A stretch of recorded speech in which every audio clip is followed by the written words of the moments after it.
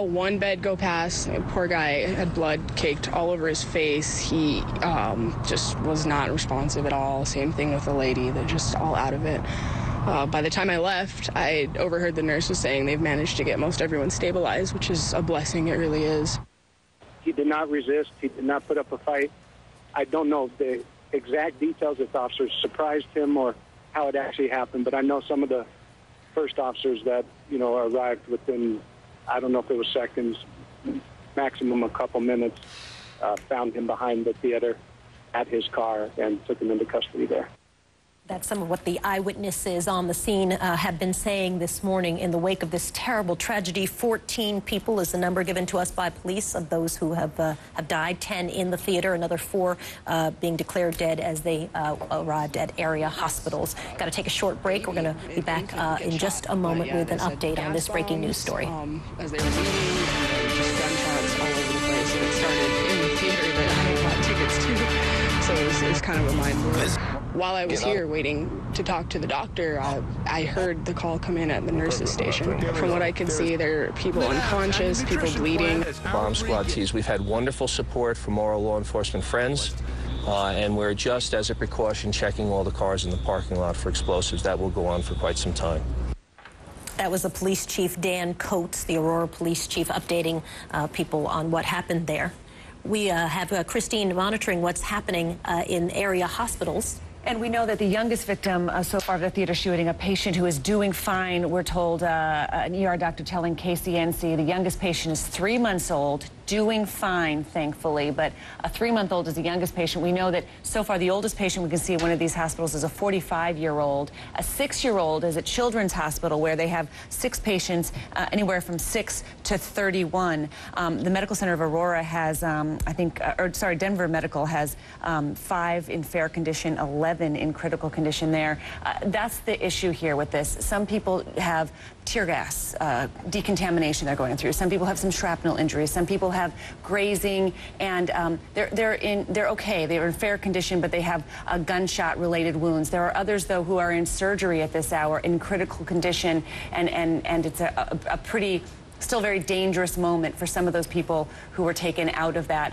um, out of that theater. Uh, one thing that's interesting as well about the moments after this shooting, again, a, a midnight showing of, of The Dark Knight, some were taken to area hospitals and ambulances. Some came in on foot later as they realized that they had minor injuries, Soledad, and some came in the back of police cars. A police arriving on the scene. One case, a police officer witnesses tell us, a walking out of the theater with the, with, with the still not moving body of a small child, a little girl, a six-year-old or a nine-year-old, depending on, on which eyewitness you're talking to. We still don't know the status of that child, but a child who was taken out of the theater unconscious.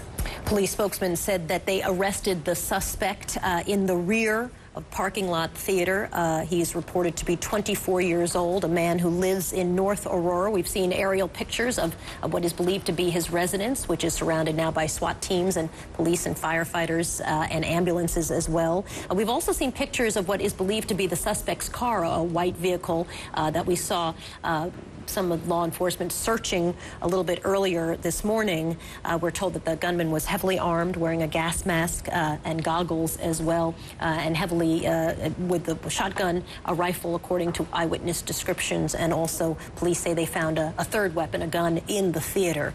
Uh, we want to get to John Berman. He's got an update on uh, what is happening on Twitter, as people were early, really among the first to report what was going on in the movie theater.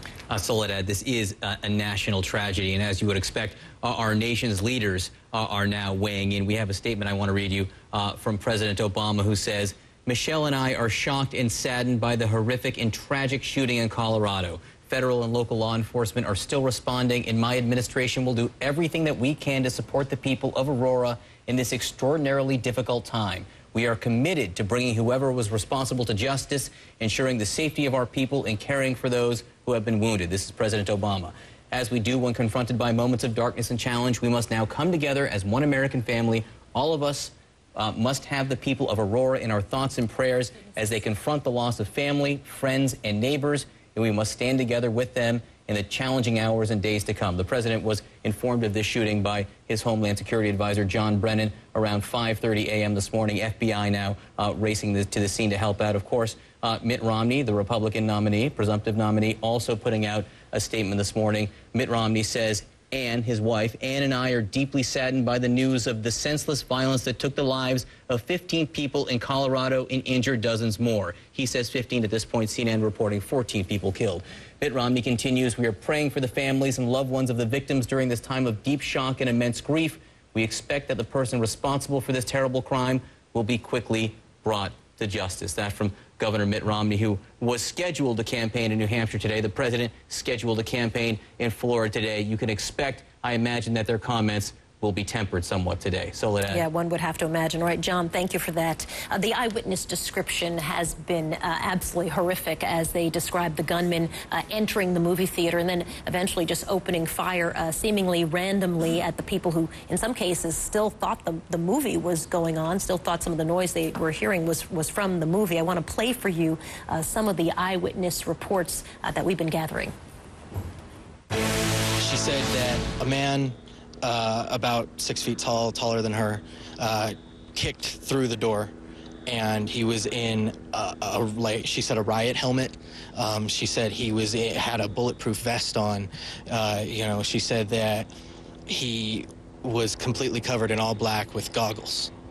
And he, she said that um, after that point, when she saw that he was holding a shotgun, they, her and her boyfriend dropped to the floor and just kind of started to crawl to see if they could get away. Um, they got up and they started to run through the emergency exit. Um, she said that when she turned around, all she saw was the guy slowly making his way up the stairs and just firing people, just picking random people. It appears that there was some sort of uh, smoke or gas. Um, we're hearing reports of an explosion. We don't know if that was part of the smoking gas or a separate device. Uh, I, I have heard that he was wearing a vest, uh, as well as we did recover uh, at least one rifle, a handgun, and I believe there was another gun of some sort inside the theater that was left. As they were leaving, he witnessed uh, baby, an infant, get shot. But yeah, they said gas bombs um, as they were leaving, and then just gunshots all over the place. And it started in the theater that I had bought tickets to, so it was, it was kind of a mind blower. While I was here waiting to talk to the doctor, I, I heard the call come in at the nurses' station. From what I could see, there are people unconscious, people bleeding. And they believe that everybody left just as quickly as they could. Many people are standing outside with nothing more than what they walked out of their apartment with. And, and Jason, I know you've talked to those people. Do any of them know the young man who appears to live in this apartment? Well, at this point, the people who we're talking to uh, don't know, but we have not publicly released uh, the name of this person, so it's tough. However, what, what we're hearing, we have not come across anybody who has said that they knew of this individual, at least at this time.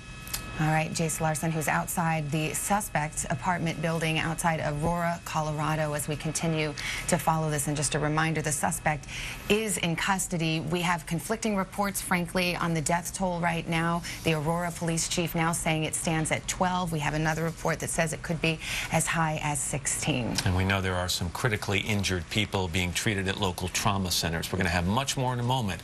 But first, these messages.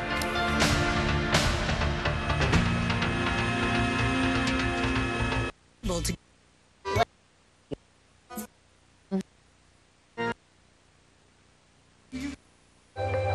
diet, I felt like Many times she goes days without any food. Theaters in the Century 16 Theater behind me here. Uh, uh, witnesses tell us that he released some sort of canister. Uh, they heard a hissing sound and that gas emerged. Also concerned about explosives in the parking lot.